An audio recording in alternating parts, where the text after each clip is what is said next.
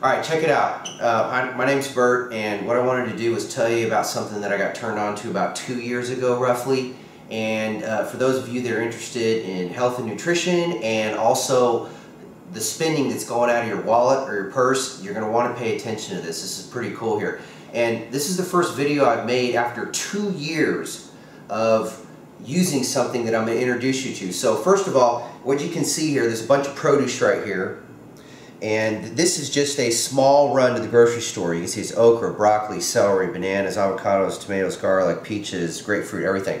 This was a small run at the store, and this was uh, this cost just in the produce here about 40 $45. And this is one of six to seven uh, grocery runs for the month, okay? Because what I want to do is quantify something here because if first of all you have to believe that fruits and vegetables whole foods are really the key to good health and also exercising and, and sweating and doing things like that. But really it's all about what you put into your mouth. So if you believe that then you're going to probably really there's going to be something here that resonates in this video. So if you do the math if you just multiply this run right here $40 roughly times six times in a month and of course we buy meat and other things like that, but this is just the produce. You're looking at, what is that, $240 for the month, 250 just in produce.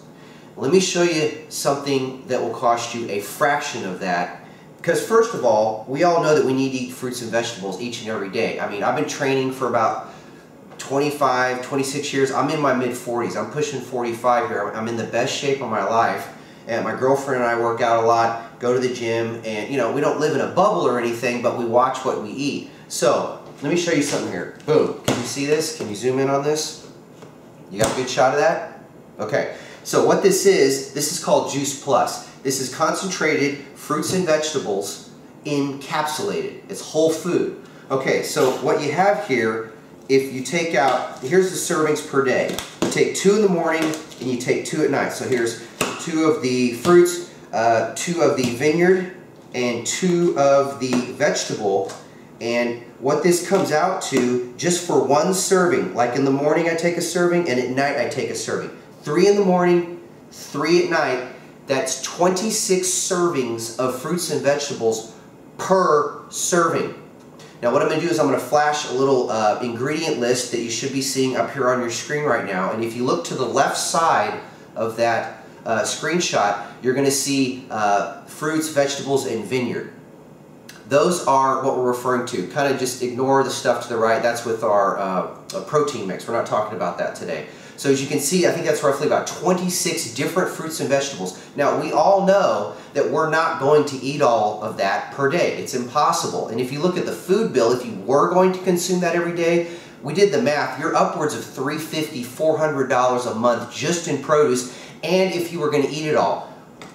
What a company called Juice Plus has done, and what made sense to me, and may, maybe to you, is that they've concentrated everything that you see here and more into these three capsules that you take three in the morning, three in the evening. Now, let me show you something real quick on how fast, on how long it takes to eat 25 servings of fruits and vegetables. See? Yeah, oh, I'm out. Done.